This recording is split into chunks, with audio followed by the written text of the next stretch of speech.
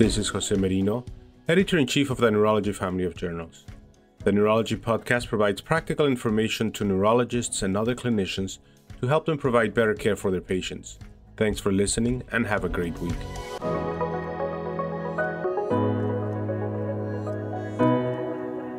Hi, this is Tesha Monteith with the Neurology Podcast. I'm here to talk to you today about an update on cluster headache treatment options. With me to discuss is Matthew Robbins, an associate professor of neurology at Cornell Medicine. Hi, Matt. How are you? Hi, Tesha. Thanks for having me. I'm delighted to join you. Well, you know, you did all the hard work, you and your team, in writing about uh, guidelines for cluster headache. We certainly need them.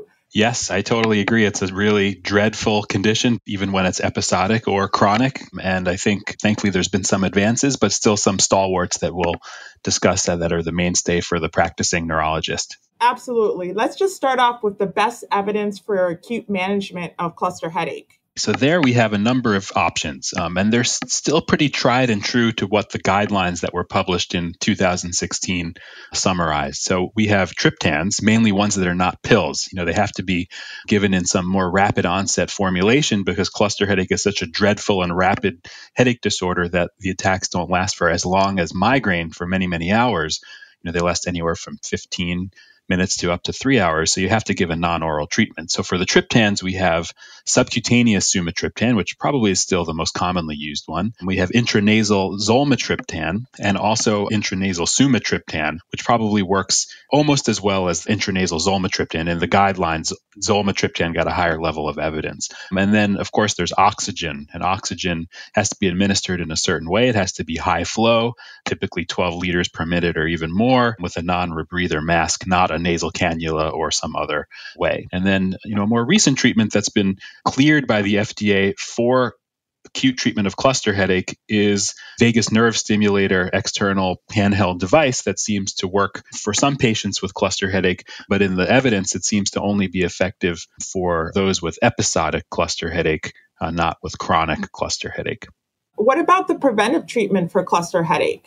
Well, the preventive treatments are interesting based on what guidelines tell us, like what we did back in 2016, and also what is based on expert opinion. I think the most commonly used preventative treatment for cluster headache, even today, probably remains verapamil, a calcium channel blocker. Now, in our guideline, it didn't receive a very high level of evidence because there was really no high quality clinical trial that showed that evidence assessment sense that the American Headache Society applied, which is based on American Academy of Neurology methodology. So, in the guideline, it didn't receive a high rating, but with the acknowledgement that there just aren't studies that refute its evidence, and certainly a comparative study that shows it's better than other treatments. Although we don't have great guideline evidence for cluster headache prevention in the long run, verapamil is probably what most experts think is the best. The only FDA approved treatment for cluster headache prevention now is galcanezumab, which is a monoclonal antibody um, that targets CGRP, calcitonin gene related peptide. Though similar to other treatments, it only showed efficacy as a preventative treatment in the one major clinical trial for episodic cluster headache and not for chronic cluster headache, which is a very you know, challenging condition to treat. If we can't use those treatments, obviously there's others that we go to. Lithium is one, sometimes certain anti-seizure medicines like topiramate, like gabapentin. That same vagus nerve stimulator external device is FDA cleared as an adjunctive preventative treatment for cluster headache, and that also might be a good option, sometimes melatonin and so on. But what I would say nowadays, probably verapamil and galcanezumab are what are used the most. We don't have any comparative studies to know which one is better and any clinical pearls for, I would say, the acute management as well as the preventive management of cluster headache, things that neurologists should know that might optimize care? using oral triptans. That's a pitfall that I see often in patients I might see in my own practice. Oxygen using sort of a nasal cannula or some other way um, is often what is is done erroneously. So it really has to be a non-rebreather treatment. And I think in cluster headache, when you think about acute treatment and preventative treatment, really both have to be considered for every single patient. That's been affirmed by quality measure set that the American Academy of Neurology and American Headache Society have done together. The default mode on cluster headache should always be what do you do acutely and what do you do preventatively. And only if the attack bout is going to be very short may you consider omitting a preventative treatment, but that often isn't the case. Typically, cluster headache is so awful, and about for episodic cluster will still last for at least a couple of weeks that you generally have to do something for preventative treatment, even if it's a short term preventative treatment. I know some things that I've seen is um, the benefit of pushing up verapamil, obviously being careful about heart block, but pushing up verapamil to very large doses may have some therapeutic benefit. Absolutely. We do that all the time. Sometimes, for some reason, the short acting verapamil can just be better than the sustained release verapamil, which has a more irregular release. So sometimes, even keeping the same total dose but switching to the short acting form can work. Absolutely, what you're saying. Sometimes the doses required for verapamil are gigantic and always leads to us receiving concerned phone calls from pharmacists and other clinicians. But, you know, we have to acknowledge that cluster headache is so horrible that often it requires doses that are, are that high. And often patients with cluster headache tolerate these dose increases remarkably well for some reason, thankfully. And as you suggested, you have to do serial EKG monitoring when you do these very high dose escalations past 240 milligrams per day.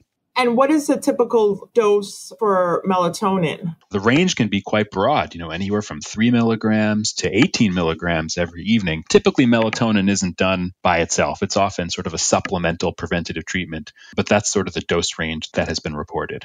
What about the bridging therapies? What what are some of your strategies? Bridging therapies are often needed for most patients, and bridging people sometimes refer to it as a short-term preventative treatment too. There's two main ones that are used in clinical practice. One is an oral steroid, typically prednisone, and thankfully there's been a recent European clinical trial that has shown that it can be very effective as an adjunctive preventative treatment to verapamil starting. And often doses have to start as high as 100 milligrams and then rapidly taper after five to seven days the treatment period for oral steroid is over two to three weeks in that general range.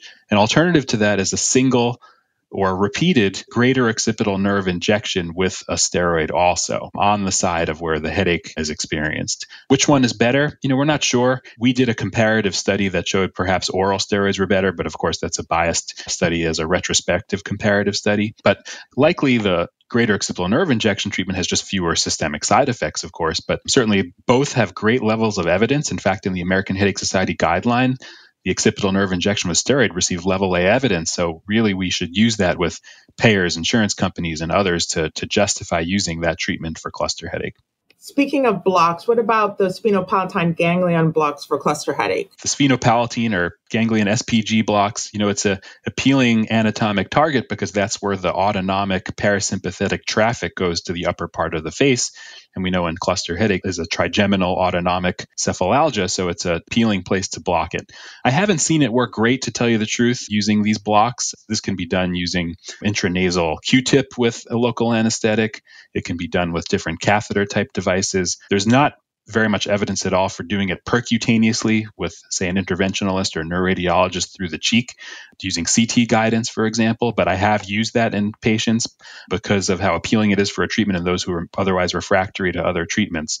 So I think it's an appealing target, but it hasn't materialized with a level of evidence that has been suggested that it should be in routine clinical practice. But on the other hand, the sphenopalatine ganglion is a target for neurostimulation, neuromodulation, and there's very good evidence that doing an implanted neurostimulator to that area can be an extremely effective treatment for cluster headache for both acute treatments in a randomized trial and likely as a preventative treatment in the long run in longer observational studies. But this is generally not something that's done in the United States uh, very often, but it's something that we're all looking to because it also showed effectiveness in chronic cluster headache, which is pretty uncommon to find in clinical trials. Speaking of chronic cluster headache, what are some of your strategies for chronic cluster headache? Yeah, it's a tough one, Tesha, because the evidence is not as great for many of the treatments as we discussed. Fortunately, for most of the acute treatments, it's still, you know, oxygen, subcutaneous sumatriptan, even zolmitriptan to some extent, intranasal can be very effective. But for preventative treatments, it's very challenging. You know, often we use what works for episodic cluster headache in different doses, combination treatments. And sometimes we have to consider more invasive treatments such as neuro modulation. You know, that could be occipital nerve stimulation. You know, there's some experience with deep brain stimulation of the posterior hypothalamus. There's a recent report that I read using focused ultrasound for chronic cluster headache management. So I think sometimes we have to think about these treatments. Regarding galcanezumab, the CGRP monoclonal antibody, there's some sort of observational evidence that it might work as a long term preventative treatment using the 300 milligram cluster headache dose in the long run. There have been no safety concerns that have so far arisen. And I have done that in patients because the evidence for chronic cluster headache treatment, even if the randomized clinical control trial for it at a certain more short term interval didn't show efficacy over placebo, it could be that it just takes a very long time in chronic cluster headache to show some tangible difference. And I know there are a number of therapeutics under investigation for treatment of cluster headache, psilocybin, for example. Where, where are we with these products? Yeah, psilocybin, a certain type of serotonin, you know, receptor antagonist, I think is very appealing. Um, we've had very limited evidence, but some that have shown potentially that there could be some patients who respond to. That was just published in recent months. So that's something that we're looking to more for, especially chronic cluster headache, which is just such a particularly dreadful condition. So hopefully more work out of that experience and more flexibility for study, for research of this type of treatment will be done. So we're, we're all looking forward to seeing how that goes. There was a recent paper published in Neurology on cluster headache and the burden of multiple morbidity. And so I think it makes us think a little bit about multidisciplinary care for cluster headache, similar to maybe for migraine. Any advice or pearls in that area? Cluster headache, especially episodic cluster headache, which, you know, about 90% of people with cluster headache have, we think of it so situationally. You know, people either have it, they're in a bout, or they're not in a very binary way. So often multidisciplinary care is not really thought of the way we do for migraine, where there's this more perpetual vulnerability and attacks can just kind of happen at random, no matter when and where people are.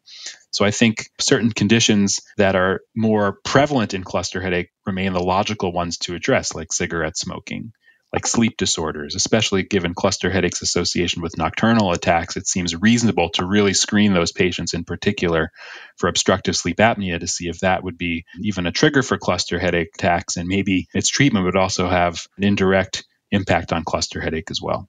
Any final thoughts about the management of cluster headache? I think we've come a long way. We've got great newer treatments that have come around, and also our old treatments that we've been using also have sort of reinforced clinical experience. And I think sort of an evolution of where we are with these treatments in terms of the sequencing of these treatments. But I think we have more tools than we ever have had before. And you know, I would still just recommend that everyone always think about acute and preventative treatment simultaneously for every patient with cluster headache. Great. Well, I think that was a high yield conversation. Thank you so much. Thank you, Tesha. Great to be here. And thank you for listening to the Neurology Podcast.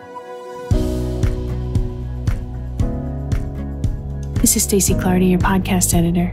Thank you for listening and for letting us join you on your commute, while you're exercising, or even while you're brushing your teeth.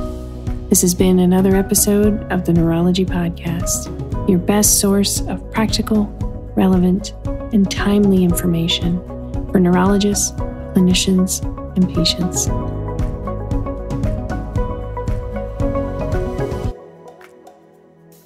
The views and opinions of the participants in this podcast do not necessarily reflect those of the Journal Neurology or the AAN. Disclosures of the participants are included in the show descriptions, reached by a link on the neurology.org website.